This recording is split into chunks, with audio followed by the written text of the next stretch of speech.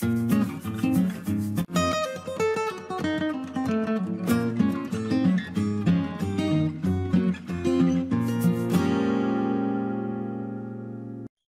everyone. I hope everything is going well in CSS. Today's lesson is an important one. I will explain a style that helps you to create a space around elements. This style called margin. And also I will explain another style called padding to add space around elements content, not the element itself like margin. So keep watching to understand the difference between padding and margin well.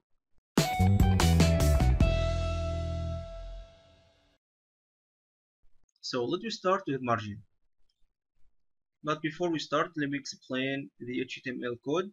I have here three divisions. First one, second one, and here third one. And each one has a class. First, second, third. The first one and the third one, each one has a paragraph. And the second one has a picture. And also I add some style for the third one, background, width and height. So let me see how we can add margin. So simple. Let me just select the element. So I will add margin for the first division. So first and margin and we have to specify four values. The first value is margin from top. So how many spaces that we want to specify from top. For example, let me make it 10 pixels then from right so from right we can make it 15 percent or 15 pixels. Then from bottom so let me make it 5 pixels. And finally from left and let me make it 20 pixels. Let we see now. So there is a space from top 10 pixels and then from right but we can't notice from right because there is no element in the right. From bottom here there is a space between the paragraph and the picture 5 pixels and finally from left here is 20 pixels. Let me change here the value from bottom and make it 50 pixels nice. So there's a space here 50 pixels. We can specify it in this shape or we can just make one value. So 10 pixels will be for all direction from top left bottom and right. So let me make it for example 100 pixels. We can also make it in this form and here 50 pixels. So this value will be for the top and the bottom and this value will be for right and left. Let me see. So now from left and right is 50 pixels and from top and bottom is 100 pixels. It will make it 30 nice. Also we can specify each one individually. So I can make this 30 pixels for margin left so it's just from left and also I can specify another margin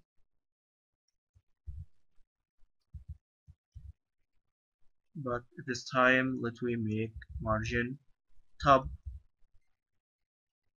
and make it 100 pixels. Nice. So we can specify it individually or specify all of them together. So that's how you can specify a margin. There is also another value called auto. Auto means that the browser horizontally center the element within its container. What does this mean? Let me, for example, display this picture in the center of the page. so I have to select this division second division and let me make margin and make it auto uh, let me see what will give us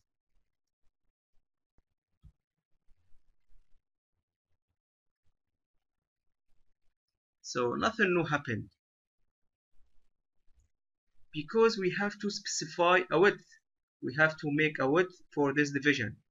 Like I told you that auto center the element according to its container.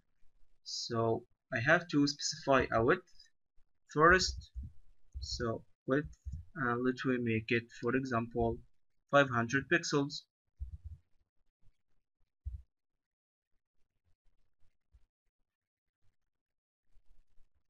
let we see. Nice. So now the picture displayed in the center of the page. But you see here a horizontal scroll bar. So to remove this like I told you in the last lesson we have to use max width.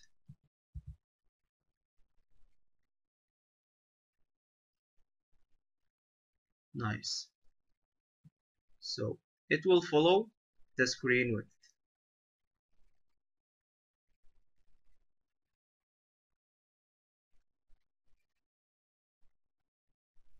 There is also another value called inherit. Inherit means that the content will take the same margin that its container had. For example here, the first division has a margin left 30 pixels. So I will make a margin for the paragraph and make it inherit. Let me see what will happen. So dot first p and let me make margin. Left equal to inherit. So let me see now. So the division has margin left 30 pixels so the paragraph got another 30 pixels margin left. So, so now the margin for the paragraph is 60 pixels. If we here decrease the margin and make it 20 pixels, let me see. Okay, so now the margin for the paragraph is 40 pixels. If we remove this So the margin for the paragraph should be 20 pixels. Let me see. Nice. So inherit give the element the same margin that added to the container. Finally, let me see how we can add padding and the difference between padding and margin. So to make padding like margin. So for the third one, let me make padding so padding. So from top let me make it 10 pixels. From right let me make it 5 pixels. From bottom let me make it 15 pixels. And finally from left let me make it 20 pixels. So as you see now the space added to the paragraph not for the division so padding add a space for the element's content, not for the element itself. So also we can specify padding using just one value. So it will be for all directions like this or we can make it two values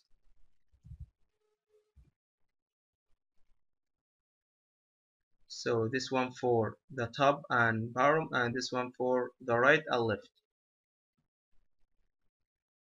Nice. So now the difference between padding and margin. Padding add the space to the element's content but margin add the space to the element. Let we add a margin to see the difference. So margin and make it margin for example auto so let me see if the margin will be added for the paragraph or for the whole division.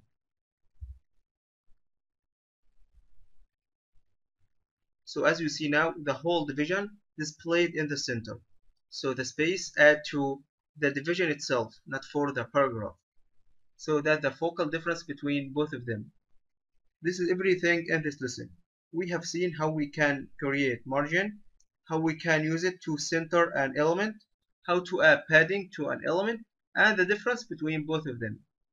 So if you have any question, don't hesitate to ask me. Good luck and see you next time.